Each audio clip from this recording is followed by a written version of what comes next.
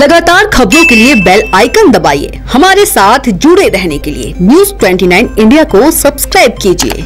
नमस्कार, स्वागत है आप सभी का न्यूज़ 29 इंडिया में। मैं आपके साथ प्रिया शर्मा। आइए नज़र डालते हैं अब तक की ताज़ा खबरों पर।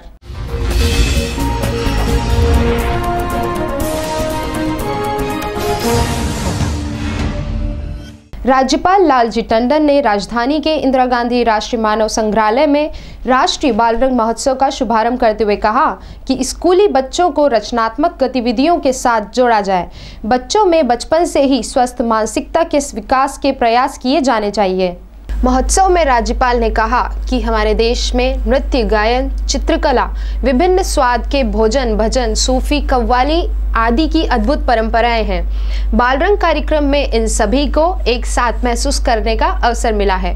प्रमुख सचिव, स्कूल शिक्षा रश्मि अरुण शमी ने महोत्सव की रूपरेखा की जानकारी देते हुए बताया कि बालरंग के आयोजन को अंतर्राज्यीय स्वरूप दिया गया है।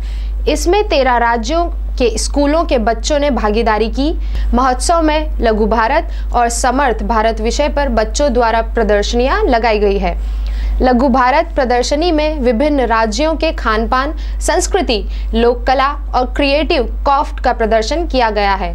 समर्थ भारत प्रदर्शनी में देश की प्रगति की झलक दिखाई गई है। लोक शिक्षण आयुक्त जय श्री कियावत ने अतिथियों के प्रति आभार प्रदर्शित किया। Bureau report, news 29 India.